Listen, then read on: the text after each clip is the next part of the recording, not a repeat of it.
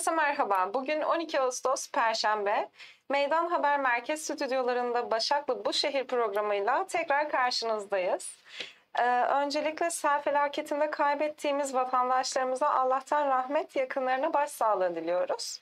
Ee, bugünkü konuğumuz Gelecek Partisi Buca İlçe Başkanı Sayın Serkan Kurnaz. Merhabalar. Hoş geldiniz. Hoş bulduk. Teşekkür ederim. Bu, Nasılsınız? Teşekkür ederim. Siz nasılsınız? Bizler de iyiyiz. Öncelikle bana yer verdiğiniz için, Sayın Bucalılara hitap etmeme izin verdiğiniz için çok teşekkür ederim. Biz teşekkür ederiz. Öncelikle sizi tanıyabilir miyiz? Tabii ki adım Serkan Kurnaz. 1977 İzmir doğumluyum. Aslen Bulgaristanlıyım. Annem babam Bulgaristan doğumlu. Oradan buraya göç etmişler. Eşrefpaşa'da doğdum büyüdüm.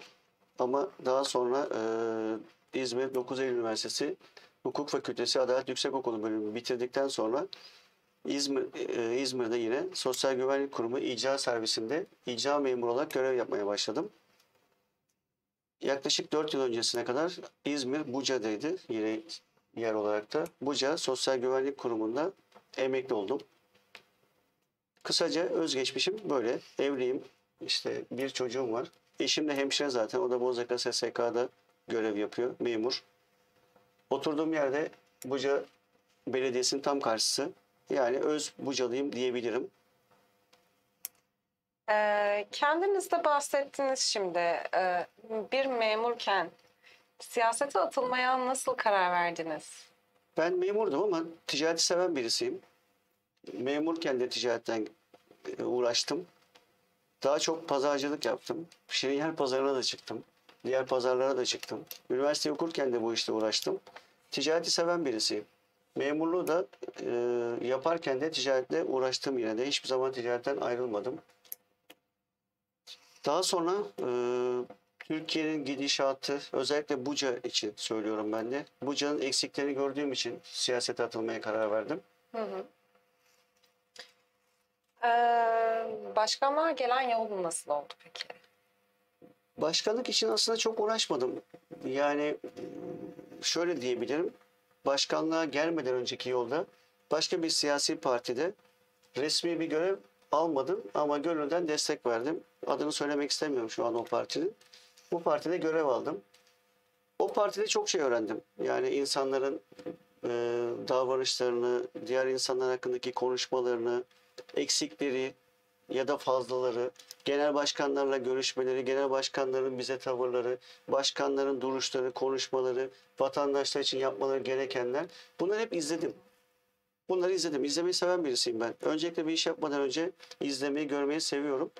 Belli bir olgunluğa eriştiğimi anladığım için başkanlık teklif edildi. Ben de kabul ettim. Ee, az önce söz ettiniz. Buca'daki eksikleri görünce karar verdim siyasete atılmaya diye. Evet. Nedir o eksikler? Yani Buca'da ne yapılması gerekli sizce? Bana kalırsa Buca'da yapılması gereken en büyük e, temel sorun trafik. Yani ben akşam eve gittiğimde ya da işte Paşa'dan e, Buca'daki evime gelmek istediğimde bir ya da iki saatimi trafikte harcadığımı iyi biliyorum. Beni bu çileden çıkarıyor. Eminim ki Buca'da yaşayan insanları da çileden çıkartıyor. Buca'nın yapılması gereken en temel sorun, en temel sorun şu anda trafik. Bu kadar araç sayısını, şirin yer trafiği, özellikle cum- paz- çarşamba pazarları, pazar gün belki biraz kaldırıyor çünkü insanlar işe gidip gelmiyorlar ama çarşamba günü inanılmaz bir yoğunluk var. Hatta dün yaşandı sanırım bu yoğunluk. Eşim, has- eşim hastaneden eve gelemedi. İki saat trafikte zaman kaybetmiş. Böyle bir şey olamaz. Neden idareciler bunları yapamıyorlar, neden görmüyorlar bilmiyorum. Bu sonuçta e, diğer ilçelere bakın, Bornova'ya bakın, Karşıyaka'ya bakın. Karşıyaka'da altta, üstte iki tane çevre yolu yapıldı, diğer yollar var. Alternatifler çok, alttan girilir, üstten çıkılır, bir çözüm bulunur. Aynı şeyi bilmiyorum, belediye başkanını suçlamıyorum ya da diğer insanları suçlamıyorum. Yapılmamasının belki bir sebebi olabilir, ona da bir şey demiyorum. Ama mutlaka ve mutlaka bu trafiğe bir çözüm bulunması gerekiyor. Bu can en temel sorunu bence en başta trafik. Evet. Ee, peki başkanlığa geldiğiniz geleli yaptığınız çalışmalar nelerdir? Başkanlık koltuğuna oturalı çok olmadı. Uzun bir süredir koltukta oturmuyorum. Daha yeni görevi devraldım. Ama görevi devralır almaz ilk yaptığım şey işsizlik ve gençlerle konuşmak oldu. Şu anda Kadın Kolları Başkanlığı ve Gençlik Kolları Başkanı ataması yapıldı ve ilk olarak gençlerle konuştum. Ben çünkü gençlere önem veren birisiyim. Geleceğin de gençlerde olduğunu farkındayım. İlk görüşmem gençler üzerine oldu. Gençlerin de en temel sorunu işsizlik. Ve çok acıdır ki bunu net bir şekilde söylüyorum. Çok acıdır ki gençlerin çoğu işsiz ve gelecekten kaygılı. Burada ne yapılabilir? Çözüm önerisinde sormak istersen bana, istersen cevap da verebilirim. Tabii ki. İlk yapması, yapılması gereken temel sorundan bir tanesi üretim artırmamız gerekiyor. Üretim nasıl artırılır? Madem anlatıyorum bunları ondan da bahsedeyim. Tabii nasıl ki. artırılır? Üretimi artırmak için öncelikle gençleri teşvik etmek gerekiyor. Gençleri cesaretlendirmek gerekiyor. Bizim gençlerimizin ım, cesareti yok. Herkes memur olmaya çalışıyor. Ben memurluktan ayrıldım. Siyasete atıldım, ticarete atıldım. Ama gençlikte böyle bir e, korku var. Ticaret yapmak istemiyorlar. Belli bir yerde olmak istemiyorlar. Özel şirketlere girmek istemiyorlar. Gençlerimizi biraz cesaretlendirip üretime kaydırmamız gerekiyor. Böyle yaparsak ülkemiz ge- gelişir. Şu an zaten dolar, euro neredensen baksan 10 katı. 10 lira, 8 lira civarlarında. İhracat ne yaparsanız yapın Avrupa ülkeleri yapabilecek durumdayız. Ekonomi canlandırılabilir bu şekilde. Bu fırsat büyük bir fırsat aslında. Ben de Bulgaristan'a gidip geliyorum. Avrupa ülkelerine gidip geliyorum. Yani oradaki durumu biliyorum.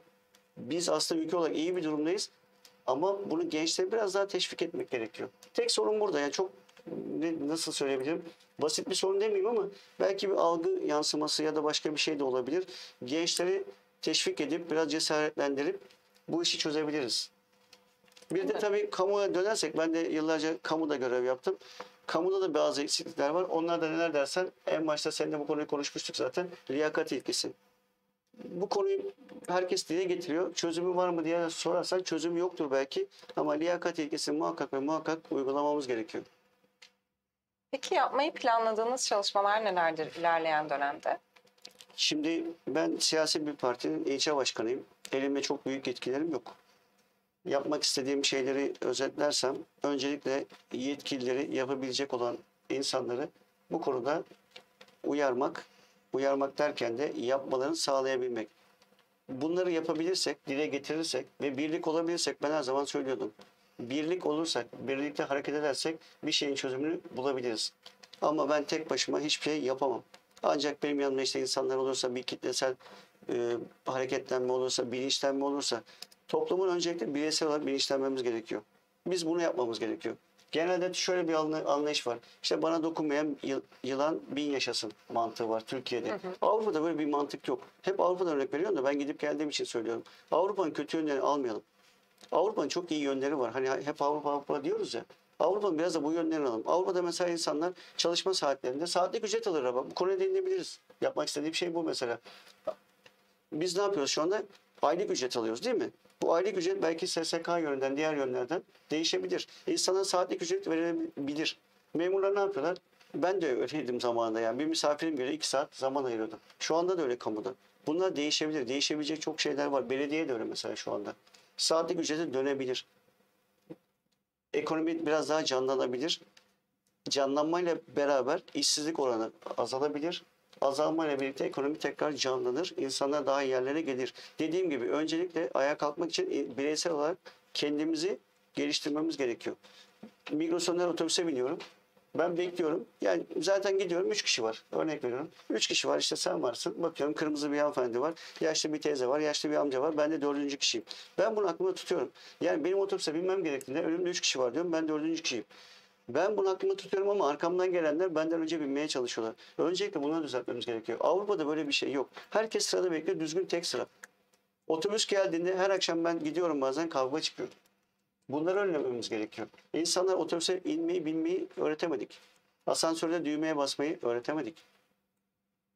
Buradan başlamalıyız. Buradan Evet. başlarsak bireysel olarak önce biz kendimize saygı duyarsak karşımızdakiler de bize saygı duyar. Avrupa'nın en güzel yönlerinden bir tanesi bu. İnsanlar saygı duyuyorlar. Bir özel alan var, çizgi var. Bu çizgiyi aşmıyorlar. Biz öncelikle bunu yapmalıyız. Bunu yaptığımız takdirde emin ol çok daha iyi yerlere geleceğiz. Bunu da yapabilir miyiz? Çok rahat yaparız. Biz Avrupa'dan çok daha iyi durumdayız. Çok daha kültürümüz onlara göre köklü. Biz çok köklü bir kültürüz. Çok iyi bir e, soydan gelmekteyiz. Bunu kullanmalıyız. Biz ne olursa bilmiyorum son yıllarda, son 100 yılda da biraz daha böyle köklerimizden ayrıştık. Eğer bu ayrışmayı durdurursak çok çok daha iyi yerlere geleceğiz. Ben eminim. Buca denince aklınıza gelenler nelerdir? Valla Buca denince ilk akla şu girişte e, Osmanlı Köprüsü var ya. O akla geliyor. Biraz üzülüyorum ona. yani tarihi olarak hiç bakımsız, çok uygulanmıyor. Ama çok tarihi bir yer orası. Oraya mesela daha iyi yapılıp turizme açılabilir. Onun dışında Buca deyince akla ım, siyasetçiler geliyor. Buca'da yetişmiş çok iyi siyasetçiler var. Nedense Buca hep iyi siyasetçiler çıkarıyor. Buca Spor akla geliyor. Biliyorsun birinci lige çıkmıştı. Evet. Ee, bunlar geliyor. Buca insanı çok akıllı. Onu da söyleyeyim. Çok akıllı insanlar var. Hala da var. Şu anda da var. Buca'nın değerini bilmek gerekiyor. Buca deyince aklıma genelde bunlar geliyor. Ve tabii ki cezaevi geliyor. Onu Tam olarak ayrıca ona söylememe değiniyorduk. gerek yok herhalde. Buca deyince ilk aklımıza gelen belki de bir tanesi Buca cezaevi. Evet. Ee, biliyorsunuz bir nebze hani şehrin kanayan yarası diyebiliriz cezaevi için. Evet. Çünkü tam olarak şehir merkezinin ortasında kaldı. Ee, ve biliyorsunuz ki yıkılması artık kesin ve net olarak kararlaştırıldı. Sizce yerine ne olabilir? Nasıl bir çalışma yapılabilir cezaevinin yerine? Şimdi Buca cezaevi e, 72 dönüm galiba 72'de 74 dönüm diye biliyorum. Çok büyük bir alan. Küçük bir yer değil. Evet. Şimdi böyle büyük bir alanı tek bir kompleks olarak değerlendirmek belki hata olabilir. Ama şuna da eminim ki ben de bir Bucalıyım sonuçta. Buca'da yaşıyorum. Buca'nın sorunlarını da o yüzden çok iyi biliyorum. Ben de başkan olmadan önce sorsaydınız derdim ki AVM yapılsın. ben de AVM'ye gitmek istediğimde işte ya Balçova'ya gidiyorum ya da e, Gaziemre'ye gidiyorum. Bundan şikayetçiyim. Şikayetçiyim. Ben de isterim ki zaten cezaevinin arkasında oturuyorum ben de. Kendi evim de orada benim. Ben de AVM'ye Buca'da gitmek isterim. Buca çok büyük bir ilçe. 600 bin küsur nüfusu var. İzmir'in en kalabalık ilçesi. Böyle bir ilçenin e, üniversitesi var. Hı hı. Ama bir AVM'si bile yok. AVM yapılmalı mı? Bence yapılmalı. Zaten yapılan anketlerde de herkes yüksek oranda AVM yapılmasını istiyorlar. Bence de AVM yapılmalı. Ama yalnızca AVM yapılmamalı. Kültür sanat merkezi yapılmalı mı? Yapılmalı. Kültür sanat merkezi yapılmalı. Arkasına mı yapılır, sağına mı, soluna mı yapılır? Ben onu bilemem. Sonuçta bu işi yapacak olan planlamacılar var. Planlamasını yaparlar. Ama AVM yapılmalı. Şu anda gündem o zaten. AVM yapılmalı mı, yapılmamalı mı? Doğru değil mi? Yani genellikle konuşuluyor. Fakat Evet. ben de mesela e, AVM yapılacaksa da hani en azından Forum Bornova gibi daha açık, daha yeşillikli bir alan olmasını tercih ederim açıkçası. Ama Muhakkak öyle olmalı. İşte Bostanlı'daki gibi yapılmalı. Yani Evet. o, o şekilde yapılmalı. Onu diyorum ya onlara da planlamacılar işleri. Bunu Ama- kim planlayacaksa. Buca'daki trafik ortamında malum AVM yapılırsa ne olur onu o Şimdi konuda. o konu dedim en başta Buca'nın sorunu trafik. Şimdi oraya AVM karar çıkarsa, AVM yapılırsa bir defa trafik önceden halledilmeli. Eğer bu mevcut trafikte, bu, bu trafikte AVM yapılırsa facia olur. İki saatte geliyorduk demiştim ya, dört saatte geliriz herhalde. Bu mevcut trafikte olmaz. Buca Menderes Caddesi tek yön yapılabilir. Buradan yetkililere sesleneyim ben o zaman. Böyle bir şey düşünebilir mi? Düşünebilir artık diyorum ya ben sonuçta uygulayacak değilim. Ama bununla ilgili uzmanlar vardır. Menderes Caddesi tek bir trafik olur. Arkadan dolaşır. Ya da cezaevinin hemen bitiminde çift taraflı bir yol var. O yol cezaevi kesiyor. Cezaevinin arka tarafından yol birleştirilir. Yeşildere'ye kavuşturulur. Artık yetkililer buradan duysunlar bunu da. O yol birleştirilsin. Yol yarıya kadar geliyor ve cezaevinde bitiyor. Koskocaman bir yol. Biliyorsundur o yolu. Evet. Dört şeritli bir yol. Kocaman bir yol ama sonu yok. Ben hiç dünyada böyle bir yol görmedim. yol bitiyor, kalıyor. Öyle bir şey olmaz. Bu yapılabilir mi? Yapılabilir tabii ki de. Bunlar tamamen ben de kamuda olduğum için söylüyorum. Kamudaki devlet daire iletişimsizliğinden kaynaklanıyor. Bizde de vardı. Ben SGK'da görev yaptım. SGK'dan vergi dersine yazı yazıyorum. Vergi dersi 6 ayda cevap vermiyor. Ya da başka bir resmi daireye yazı yazıyorum. Cevap gelmiyor. Bu sıkıntılar var mı? Var. Buca deyince aklıma siyaset geliyor dediniz. Evet. Evet, e, malum Işılay Saygın, Ahmet Priştina Allah gibi büyük eylesin. siyasetçiler Buca'dan çıktılar. Yani neden Buca'dan çıkıyor büyük siyasetçiler, tanıdığımız isimler? E, Buca'daki siyasi ortam nasıl bir ortam sizce de büyük siyasetçiler yetişiyor? Şimdi Buca'nın karmaşık bir kültürü var. Kendine has bir kültürü var. Birçok ilçede olmayan bir kültür var Buca'da. Bence bu karmaşık kültürden kaynaklı. Ben de size söylemiştim. Ben de göçmenim. Bulgaristan göçmeniyim. Ahmet Priştina da göçmen. Ee, göçmenler çalışkan olur. En başta söyleyeyim size. Göçmenler çalışkan olurlar. Ee, diğer insanlar da burada bir kaynaşma olmuş. Diğer ilçelerde böyle bir kaynaşmayı çok zor görüyorsunuz. Nedense Buca'nın havasından, suyundan da olabilir. Ya da burada yerleşik olan işte Yaylacık Mahallesi ve diğer mahalleler olsun. Orada da göçmenler var çünkü. Hı hı. O göçmenlerle yerli halkın uyumundan kaynaklanmış. Bornova'da böyle bir uyum yok. Görmedim. Karşıyaka'da hiç yok. İlçeye sayarsak. Karşıyaka'da böyle bir uyum söz konusu değil. Bornova'da da çok görmedim ama Buca'da böyle bir uyum var. İşte göç edenler yani göç eden göçmenler Bulgaristan, Yunanistan, Makedonya olsun. Onun dışında yerli halk ya da doğudan gelenleri de kastediyorum buraya. Doğudan gelenler Mardin'den işte e, ne bileyim Siirt'ten, Hakkari'den gelenler de göçmenlerle ve buradaki yerleşik olan halkla iyi bir iç içe geçmişti. Işılay Hanım da zaten bunu yansıtıyordu. Evet. Hanım çok sevilen birisiydi. Diğer siyasetçiler de öyle. Priştina da öyle. Herkes kabul ediyordu. Priştina'yı kabul etmeyen var mı? Yok. Yüksek oranlarla geldiler zaten. Sebebi bu. Her kesim insanı bu buca kaynaştırıyor. Ben buna bağlıyorum. Biraz da havasından suyundan da sanırım Buca'nın. Peki SGK'daki çalışmalarınız, memurluğunuz vesaire bunların yanı sıra bir de danışmanlık şirketiniz var. Evet doğrudur. Ee, devam ediyor musunuz danışmanlık yapmaya? Ee, devam ediyorsanız siyasetle aynı zamanda nasıl yürüyor ve neden danışmanlık diye soralım. Danışmanlık en temelinde insanlar yardım etmeyi seviyorum. Geleceğin mesleklerinden bir tanesi danışmanlık. Şu anda da zaten görüyorsun her yerde danışman var. Her şeyin danışmanı var. Vergi danışmanı, diğer danışman, her şeyin danışmanı var. Danışmanlıkta yaptığımız insanlara en temelinde şey zaten yardım etmek. Özü bu. Danışmanlar. Bütün danışmanlar için bunu söyleyebiliriz. Çünkü insanların ne yapacağını bilmiyorlar. Bilmedikleri için zaten bir danışmana gidiyorlar. Avukat da bir danışman aslında. Hı hı. Temelinde bu var. Hukuki bir danışman. Siz de bir sorunuz olduğunda avukata gidiyorsunuz. Doktorlar da danışman aslında.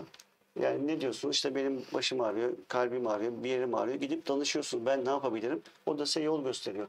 Benim yaptığım işte bu sonuçta. Ben de insanlara yol gösteriyorum. Yani aile danışmanı da bu şekilde. Diğer danışmanlar da evlilik danışmanları böyle. Bu yüzden en temelinde söylediğim gibi insanlara yardım etmeyi seven birisiyim. Burada bir maddi çıkar da gözetmeden genelde yardım etmeye çalışıyorum. Sevdiğim için, kendi içimden gelen bir şey bu. Danışmanlıkta bu. Ha, tabii ki maddi çıkar elde etme durumu oluyor. Giderler var, vergisi var, diğer konular var, şunlar bunlar var. Ama söylediğim gibi en temelde insanlara yardım etmeyi seviyorum.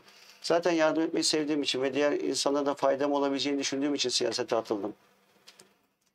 Peki son olarak da değinelim. Son bir buçuk senedir öncelikle pandemi ardından İzmir depremi ardından bu sene yangınlar ve sel hepsi üst üste geldi. Gündemimiz genel olarak bu şekilde. Bunun yanı sıra bir de e, kadın cinayetleri de malum zaten Maalesef. her zaman mevcut. E, bu konudaki düşünceleriniz nelerdir? Şimdi nereden başlasam bilmiyorum. Bunlar Türkiye'nin kemikleşmiş sorunları. Kadın cinayetlerinden başlayacak olursak bunlarla ilgili artık söylenecek bir şey bulamıyorum. Yani cinayet yapanlar mı diyeyim ya da buna yeltenenler mi diyeyim. Bunları zaten tasnif etmek mümkün değil. tasvip etmeyi bırakın. Yani böyle insanların toplumda yer alması da çok üzücü bir şey. Bu insanlara ne yapmamız gerekiyor bilmiyorum. Yani şöyle diyebiliriz. Dedim ya kendimizi geliştirelim diye. İşte kendimizi geliştirirsek belki bu tip insanlar aramıza barınamayacak. Çünkü sonuçta benim de kızım var. Etrafta insanlar var. Onların da sevgilisi oluyor. Arkadaşları var. Okula gidiyor. Benim kızım da koleje gidiyor. Hayatın içinde olan insanlar bunlar. Yani bakın mesela kadın cinayetlerine çok zengin insanlar var. Maddi durum çok iyi olanlar var. İşte en ünlü bir cinayetten adını vermeyeyim artık. E, cinayeti işleyen çok zengin bir ailenin çocuğuydu. Demek ki toplumun içinde yer alan insanlardan her kesimden bu olabiliyor. Kendimizi geliştirmeliyiz. Kadına bakış açımızı düzeltmeliyiz bir defa. Yani İslamiyet de böyle aslında. İslamiyet kadına çok değer veriyor.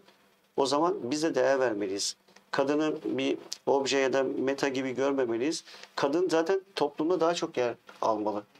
Bulgaristan'da ve diğer ülkelerde kadınlar daha çok ön planda. Biz Türkiye'de kadınlar daha biraz daha geri, geri planda ama son zamanlarda kadınlar daha çok ön plana çıkmaya başladı. Dediğim gibi kadın cinayetlerini tasvip etmiyorum hatta kınıyorum buradan da. Gerekli cezalar veriliyor zaten. Adalet yerini buluyor. Ama tabii ki e, gönül ister ki hiç böyle bir şey yaşanmasın, olmasın. Yangınlara gelince yangınlar konusunda da artık e, İran'a söyleyecek bir şey bulamıyorum. Yani bunu yapanlar mı diyeyim, artık bu işe karışanlar mı diyeyim. Kendi geleceklerini yok ediyorlar. Yalnızca benim değil, sizin değil. Kendi geleceklerini yok ediyorlar. Zaten iklim değişiklikleri şunlar bunlar gündemde. Dolayısıyla e, bu tip insanları hani e, gerekli cezalar bile az geliyor belki bazen. Buna daha fazla ceza verilebilir mi? Verilebilir belki de. Ama daha dikkatli, daha duyarlı toplum olursak dedim ya hep gene eğitime giriyor bu iş. Temelinde dolaşıyor dolaşıyor. Daha dikkatli, daha duyarlı toplum olmalıyız. Yangınlar konusunda yapabileceğimiz bir şey yok tabii ki ama daha duyarlı olursak belki yangınlar olmadan engelleyebiliriz. Ama şu anda zaten bütün dünyada yangın var. Yani yalnızca Türkiye'de olan bir şey değil. O yüzden daha duyarlı, daha derli toplu, ormanlara daha sahip çıkan, işte piknik yaparken çevreye zarar vermemek bunlar da önemli. Yani yangının sebeplerinden bir tanesi de şu olabilir. Pikniğe gidiyoruz, işte şişeler, kalın şişeler kırıp bırakıyoruz, gidiyoruz. Aynı anda belki sıcaklıkla beraber oradan beraber başka yangınlar da çıkıyor, tetikliyor olabilir. Bunlara dikkat etmek gerekiyor. Yani işte dedim ya herkes kendine bakarsa o şişeyi ben kırmış olabilirim ya da siz de kırmış olabilirsiniz ya da başkası da kırmış olabilir. İşte biz toplum olarak, bireysel olarak biz önce bireysel olarak kendimizi düzeltelim. Biz kendimize bakalım. İşte ben Serkan Kurnaz olarak ne yapıyorum? Ben kendimi düzeltirsem, Başak Hanım da kendini düzeltirse toplum zaten kendini düzeltmeye başlar. En temelinde birey olarak kendimizi düzeltelim. Ben düzeltirsem bir şey olmaz demeyelim. Önce biz kendimizi düzeltelim. Ben en başta benden başlayayım. Ben kendimi düzeltmeye çalışıyorum. Son olarak yayınımızı bitirmeden e, söylemek istediğiniz, eklemek istediğiniz şeyler varsa onları alalım. Buca ilçe başkanı olarak e, insanlara Buca'da yaşayanlara şunu söylemek istiyorum. Öncelikle Buca'da yaşamak onur ve gurur verici bir şey. Ben bunu söylerken gurur duyuyorum. Başka ilçelerde yaşama şansım varken hep Buca'da kaldım. Buca'da yaşamaya da devam ediyorum. Devam da edeceğim. Ancak dediğim gibi Buca'nın temel sorunları var. Bu sorunları hep beraber halledersek, çözersek Buca daha yaşanılabilir bir hale gelir. En temel sorun Buca cezaevi. Söyledik kaldırılıyor zaten. Yeni yeni oluyor. Onun yerine yapılacaklar var. Trafik sorunu çözersek bir de iş konusu çözülürse burası daha yaşanılabilir bir hale gelir. Pazar yeri sorunları falan filan var. Daha biraz daha sorunlar var da onlarla ilgili artık başka bir yayına beni tekrar davet ederseniz derin olarak konuşuruz. Sorunlar bitmez. Yapılacaklar da var. Ama halkımız şunu bilsin. En azından e, bireysel olarak tek tek ben elimden geldiği kadar herkesi dinlemeye çalışıyorum. Kapımız açık. 24 saat demeyelim de telefonun 24 saat açık ama Gelecek Partisi Buca İlçe Başkanlığı kapısı açık. Çalışanlarım var, ben varım. Ben ilçede oturuyorum. Kim gelirse gelsin A partisi, B partisi, C partisi benim için hiç fark etmez. Ben kimseyi ayırt etmiyorum. Herkes gelebilir, sorunlarını anlatabilir. Elimden geldiği kadar da her şeye yardımcı olacağıma sizin aracılığınızla ben söz veriyorum. Söylemek istediğim bu. Teşekkür ederiz. Ben Ee, teşekkür ederim. geldiğiniz için de teşekkür ederim bu Ben arada. teşekkür ederim.